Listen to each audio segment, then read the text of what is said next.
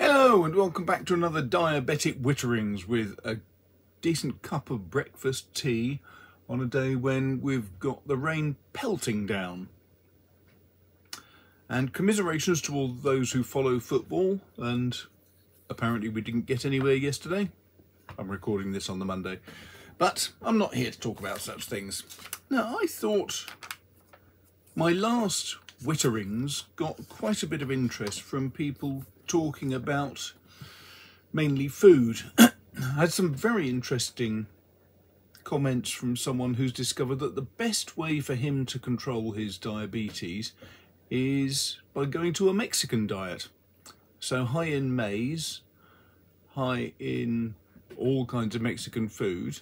That, that I thought was interesting. I have heard before that meals that are very high in chili are better for diabetics. I don't know.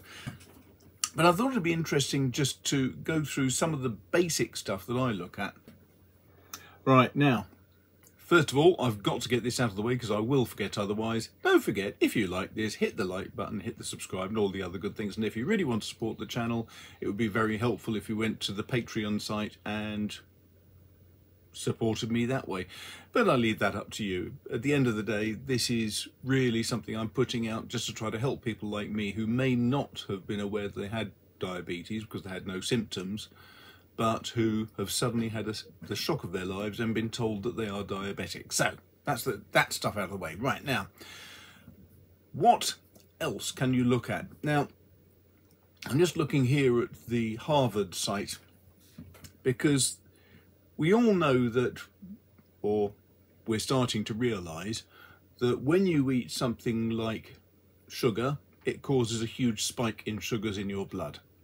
That's not really rocket science. What many more of us are not aware of is that if you have various carbohydrates, that can have a similar effect. So for example, rice apparently is just like eating sugar. It's absorbed so quickly and converted so quickly into sugar that it causes a massive spike in your blood sugars. Then again, you look at things like lentils and they are carbohydrate, but they have a much slower impact. And the reason for the difference is called the glycemic index.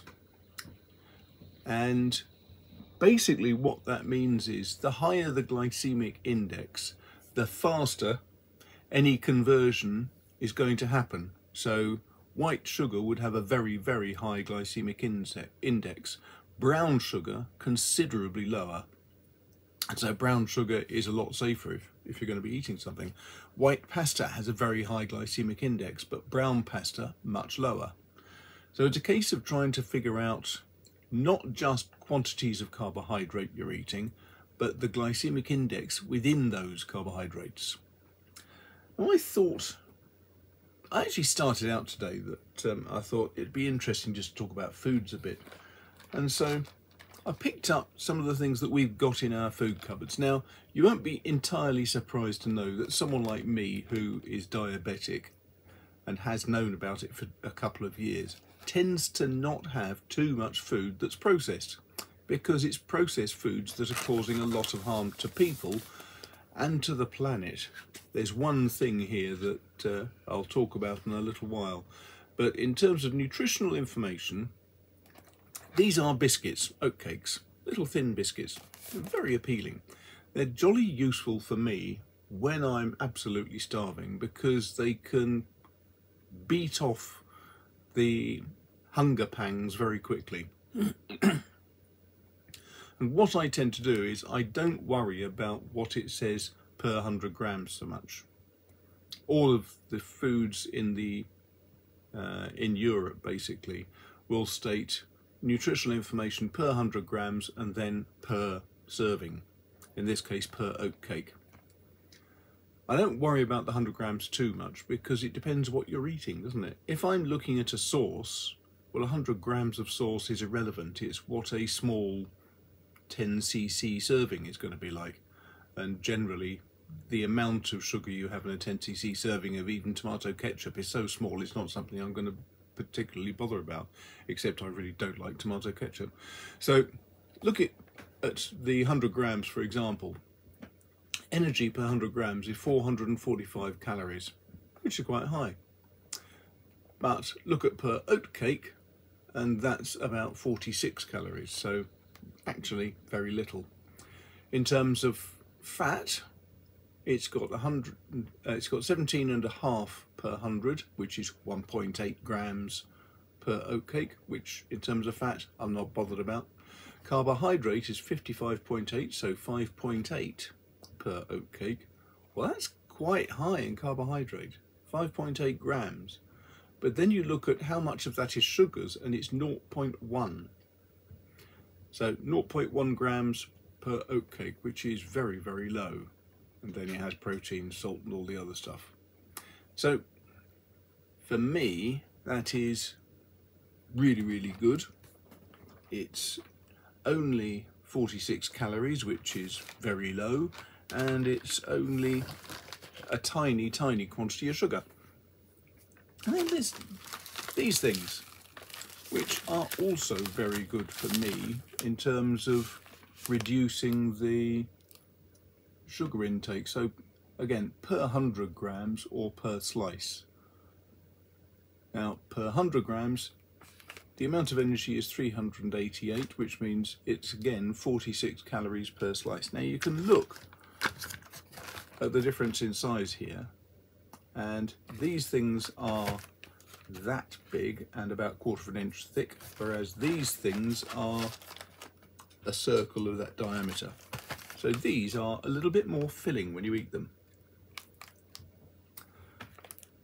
So it's 49 per slice, of which fat is eight and a half in 100 grams, but 1.1 grams, very low. Carbohydrates 55.8 or seven per slice, seven grams. And sugars are 2.9 per 100 grams, so it's 0.4 grams per slice. So still very, very low. And the thing about this is, and this, oats and rye, both of them are much, much better for you than, for example, white rice, which is going to be absorbed very quickly. Oats and rye will have a lower glycemic index and that stuff will get through to your blood system much more slowly. Now here, I just thought, for interest's sake, we'll go into this. This, compared to those two, let's see, where oh, here we are. Energy per 100 grams is 160 calories, which doesn't sound too bad. Fat is 0.7 grams, so that's good. It's surprisingly good. Carbohydrates, 37 and a half, of which sugars, 32. So 32 grams of sugar in 100 grams, whereas this is 2.9 in 100 grams.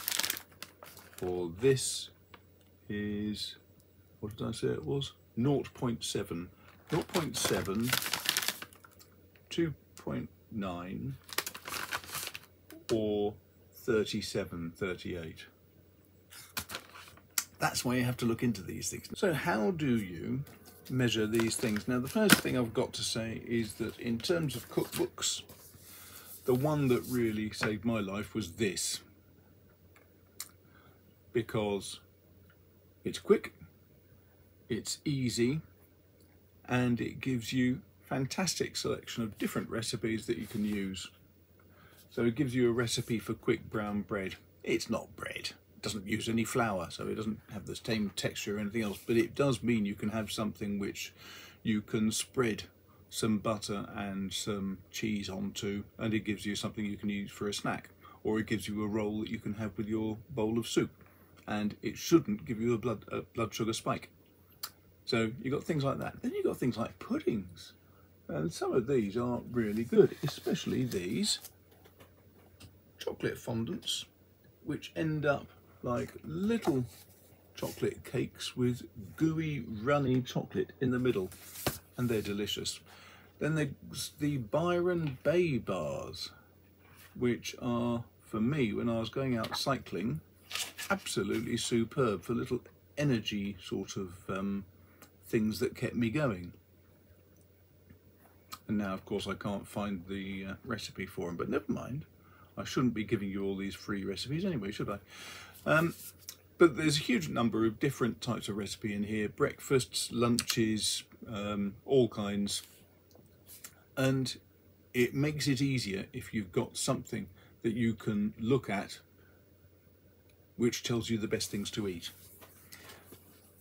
But as I started with it, I will mention it again, and that is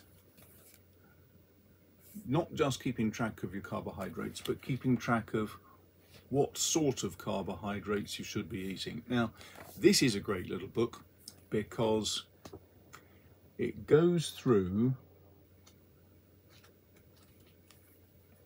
different kinds of item. Now, it can be sugars, it can be cassava, it can be chicken Kievs. It goes through foods that are completely natural that you make yourself and it goes through foods that you buy in tins or buy in shops and it shows you which is the safest to go for. So for example if we look at um, a bean burrito 200 grams it shows you roughly what it should look like on your plate so you can tell by looking at the size of it roughly what it should have. It has 60 grams of carbs. It has 414 calories, protein, fat, saturated fat and fibre. And it goes through that for basically everything. So you've got soya milk, you've got uh, milkshakes made with skimmed milk powders, you've got single cream and double cream and Everything is colour coordinated. You can see there's colours at the top of these pages.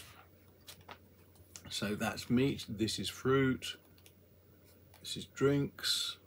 Don't understand the order they put things in, but never mind. Desserts, cheese, etc, etc.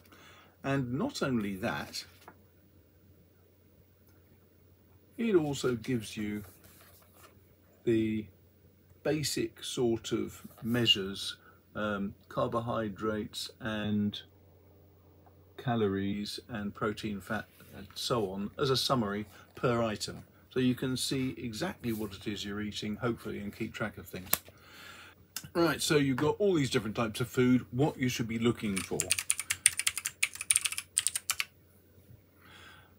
For me, the main thing is to try to keep track of the glycemic index of whatever you're eating. Now, Michael Mosley, bless him, said that easily digestible carbs are the baddies because they cause blood sugar spikes and the overproduction of insulin.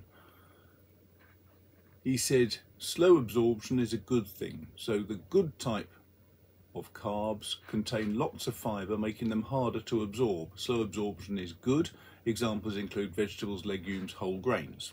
Trouble is, he says, it's not so easy necessarily to find out what are genuine whole grains because most food you buy is so heavily over processed the the grains have gone through lots of different processes themselves which makes them easier to absorb which means you feel full for less long and that's the issue. So he says one way is to look up the glycemic index score. Things are ranked from 0 to 100 sugar being 100 so that's what you need to do is to look up different types of food which are going to be in the lower level of glycemic index, if that makes sense. So that's the main uh, message from this silly little video really, which is that look up foods that are going to have a low glycemic index so they'll absorb more slowly. You will feel full for longer and when they do get converted, they release their sugars into your bloodstream much more slowly, which prevents a sugar rush, prevents the overproduction of insulin, and therefore controls your diabetes.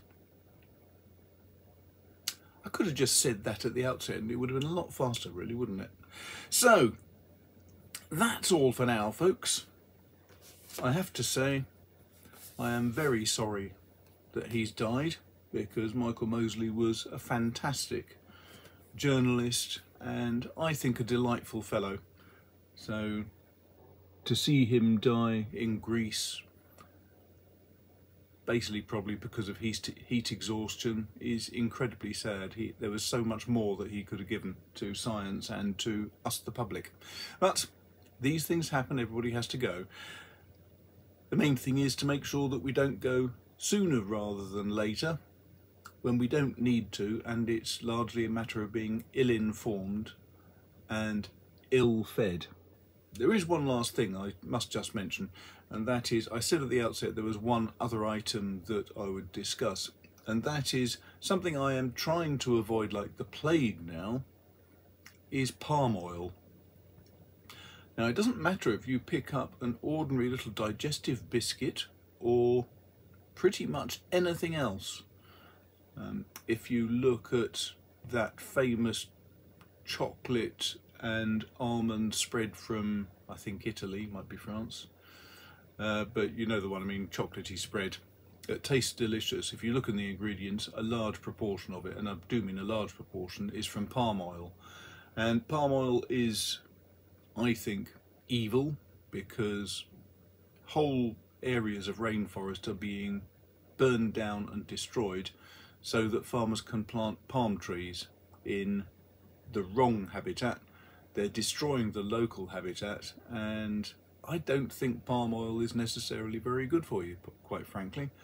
It's one of those things that is very useful for the manufacturing process for very highly processed foods. And the problem is, you look at almost all food people get nowadays, it is highly processed. I'm much more keen on the idea of keeping basic ingredients and making my own food. Now, I can do that because I'm an author and I spend all my time indoors and don't have to worry about going out and spending two hours a day commuting, which other people do have to do. However, with a book like uh, the one I've just shown you, the Caldesi book, which means 30 minutes to a meal,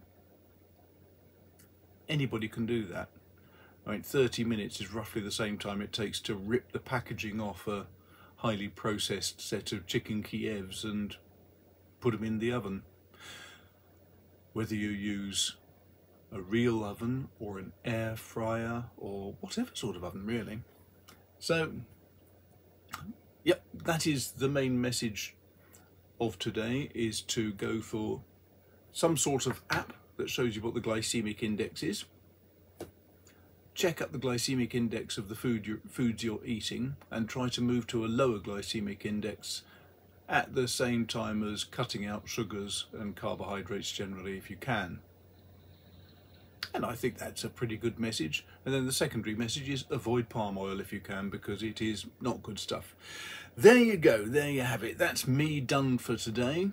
Um, nothing else to say apart from if you enjoyed this don't forget go down the bottom like subscribe. If you really want to support the channel hit the patreon button. And apart from that i'll speak to you soon. Take care and keep safe. Bye